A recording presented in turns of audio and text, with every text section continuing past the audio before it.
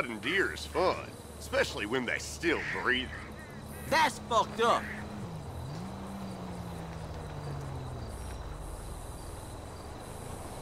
America's fucked. I hate that shit.